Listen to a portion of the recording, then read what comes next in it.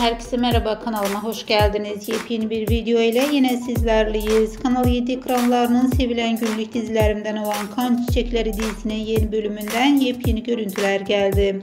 Görüntüler sosyal medyada yayınlandı ve hayranlardan büyük ilgi gördü.